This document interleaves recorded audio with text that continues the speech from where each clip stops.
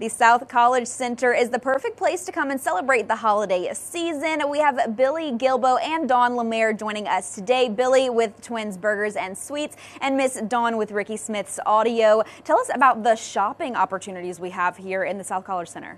Sure. The, uh, we have 20 locally owned businesses here in the South College Center that uh, we just have a wide variety of things you can come shopping for. So we have places to eat.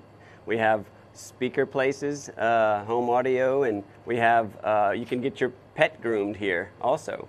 Really, anything that you can think of, you can do right here in the South College Center. Holiday shopping, everyone's doing that nowadays. Ms. Dawn, what do you guys have for us at Ricky Smith? We will have lots of Black Friday deals going on, something for everyone in the house.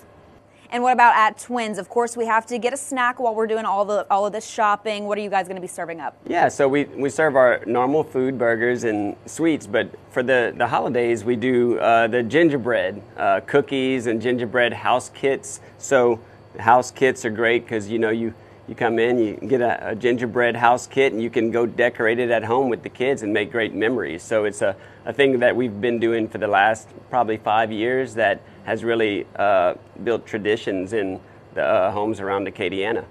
Now, Billy, you mentioned it's all local shops um, here in the South College Center. So, why does that make it such a great place to get your holiday shopping done? Well, people here live in the community, so they support other businesses around here, other uh, locally owned businesses. So, it's kind of like a, you know, you just share around. So, everyone supports each other, and uh, it's just you're affecting uh, local charities when you come to the locally owned businesses because we donate to local charities around town, and uh, you know everyone in the shopping center does. So it really keeps the the, the, the dollars in the community and it's 20 local shops. Again, so many different things for you guys to choose from. Grab a snack while you're shopping, head in to get some, some audio repairs done or new audio tools um, and anything you can think of right here in the South College Center. When can we come and visit you guys? I know there's some fun holiday things coming up.